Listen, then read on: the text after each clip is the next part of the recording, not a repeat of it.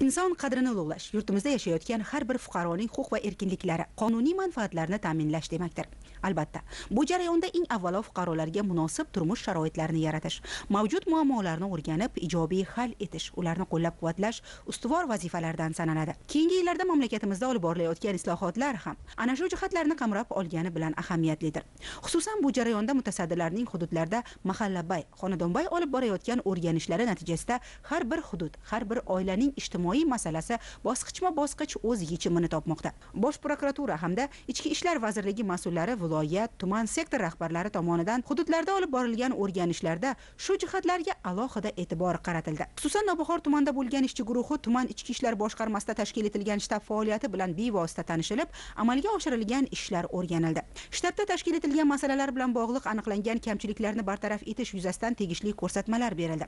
Shuningdek asosiy turdagi qishloq xo'jaligi va oziq ovqat mahsulotlari zaxirasini yaratish hamda bozordagi narx navo holati ham o'rganilib navbahor markaziy dehqon bozorida aholiga qulay shart sharoitlar yaratish borasida aniqlangan kamchiliklar yuzasidan mas'ullarga tegishli choralar ko'rildi va kamchiliklar bartaraf etilishi ta'minlandi. Bundan tashqari guliston va qorajon mahallalari hududidan o'tgan ichimlik suvi tarmog'ida yuzaga kelgan nosozliklar bartaraf qilinib yangi kuch qizilrabot va qiziltepa mahallalarida yashovchi aholi uchun uch yuz o'n ikkita maishiy gaz ballonlari yetkazib berilib fuqarolarning murojaatlari ijobiy hal etildi.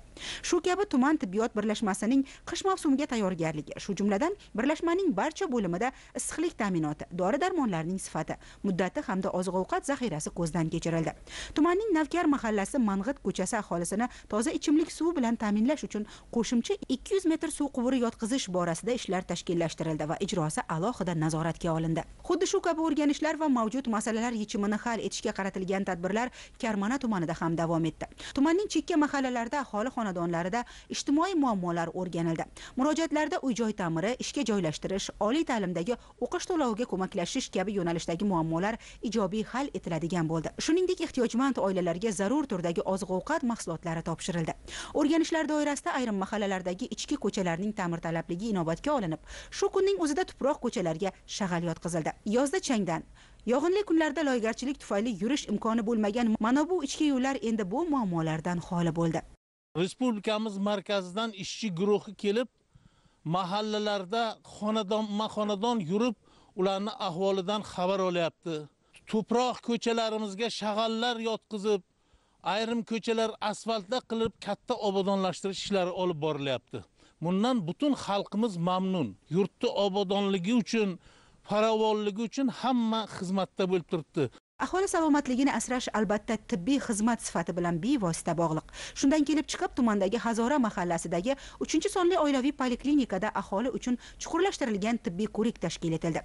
Unda endokrinolog travmatolog nevropatolog terapevt kardiolog okulist bolalar jarrohi ftiziatr ginekolog kabi malakali shifokorlar hamda zamonaviy tibbiy tekshirish uskunalari jalb etilgan holda mahalla fuqarolar yig'inidagi yoshlar daftari ayollar daftariga kiritilganlar nogironligi bo'lgan fuqarolar dispanser nazoratida turgan surunkali kasallik bilan ro'yxatda turuvchi aholi sog'lig'i nazoratdan o'tkazildi. Yetmish to'rtga kirganman. Hamma vaqt davlenalarimni o'lchatib turaman. Ozgina yuragimga hansirash bo'lib qiynalaman. Shu vaqtgacha davolanib yuruvdim. Bundan keyin ham bular hozir ko'rikka kelib manga boshqa yerlar kelib mandan kichkina yoshlar qarilar hammasi kelib ko'rinyapti kerakli tavsiyalarni berib maslahat beryaptilar. Tibbiy ko'rikka kelganligidan xursandmiz. Mana uzoqqa borib yurmadik shaharlarga borib mana bu yerdan o'tamiz. Tibbiy ko'rik natijasida fuqarolarda aniqlangan kasalliklar darajasiga qarab davolash choralari belgilandi. Shuningdek aholiga sog'lom turmush tarziga amal qilishga doir zaruriy tavsiyalar berildi. O'tgan yilda hazora mahallasida ish boshlagan mazkur tekstil korxonasi yuzlab aholi bandligini ta'minlash barobarida ishlab chiqarish salohiyati investitsiya kiritish va eksport hajmini oshirish imkonini ham bermoqda. Tadbirda ushbu korxonadagi ish jarayonlari ham o'rganilib tadbirkorlarning muammolari korxonada ishchilarga yaratilgan sharoitlarga e'tibor qaratildi. Özbekistan'da 15 yıldır faaliyet gösterememiz. Materyal zavutumuz Taşkent'te. Bu yakın filial bulup açtı. Hüdaya şükür bu tamamda 1000 kişiye iş örnü var. Endi 200-250 de adam işlevattı. Eksportumuz Rusya'ya. Trikotaj materiali boyunca hemen herse bizden çıkadı. Material özümüzün Özbekistan'ın, ip özümüzün Özbekistan'ın, şiveynik özümüzün Özbekistan. 2 milyon dolar kiretilgen meblağ yoqda. Vaziyetimiz yaxşı Xudoga şükür. İnvestorlara yar- yaratılgan şərait yaxşı. Bizim planımız normalde bu yoqqa boyahaneye mi örgüye mi Novai Hazara şehrinde komplekt, tekstil komplekti kuruş niyetimiz. Bosh prokuratura hamda ichki ishlar vazirligi viloyat mas'ullari ishtirokidagi ishchi guruhining o'rganishlari qiziltepa tumanida ham davom etdi. Tadbir doirasida hududdagi iqtisodiyot tarmoqlari ijtimoiy soha obyektlari va aholi yashash joylarida qish mavsumini betalofat o'tkazish aholi xavfsizligi hamda bozorlarda narx navo barqarorligini ta'minlash bo'yicha olib borilayotgan ishlar ahvoli o'rganildi. Xususan tuman hokimligida faoliyat yuritayotgan shtab tuman ichki ishlar boshqarmasiga ko'chirilib favqulodda vaziyatlar bo'limi elektr gaz suv ta'minoti korxonalari va boshqa mas'ul idora xodimlari biriktirildi hamda shtab kompyuter telefon va boshqa zaruriy jihozlar bilan ta'minlandi. Asosiy turdagi qishloq xo'jaligi va oziq ovqat mahsulotlari zaxirasini yaratish hamda bozordagi narx navolar holati o'rganilib qiziltepa markaziy dehqon bozorida dehqon xo'jaliklari va tumandagi oziq ovqat ishlab chiqaruvchi korxonalar uchun rastalar ajratilishi hamda mahsulotlar arzon narxlarda sotilishi va aholiga sifatli mahsulot yetkazib berishga doir amaliy ishlarga e'tibor qaratildi. Talabga javob beradi. Tartibli sifatli narsalari hammasi shu yerdan har doim xarid qilib boramiz. Mana kartoshkalar ham arzon. Bayramdan keyin ham shu narxda olib ketyapmiz. Chunki narx shundayga to'xtabdi. Hech qanday oshib borayotgani yo'q. Bu nimadan dalolat? Mana shunday yaxshi sharoitlarga olib kelinganligidan to'kinlikdan dalolat. Aholi hamma xursand. Tumanimizda 2022 yil 15 dekabr kunidan boshlab arzonlashtirilgan qishloq xo'jalik e, mahsulotlari yarmarkasi tashkil qilingan edi. E, bunda biza 40 ga yaqin savdo o'rni tashkil qildik. E, bu yarmarkamiz doimiy arzonlashtirilgan qishloq xo'jalik mahsulotlari yarmarkasi tashkil qilib qo'yilgan.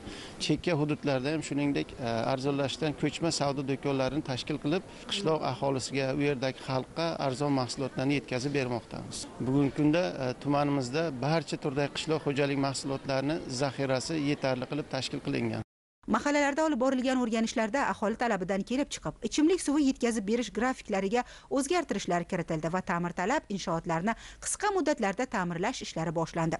Tumanning vang'ozi yashnobod va gulzor mahallalaridagi elektr simlari va transformatorlardagi kamchiliklar joyida bartaraf etilishi ta'minlandi.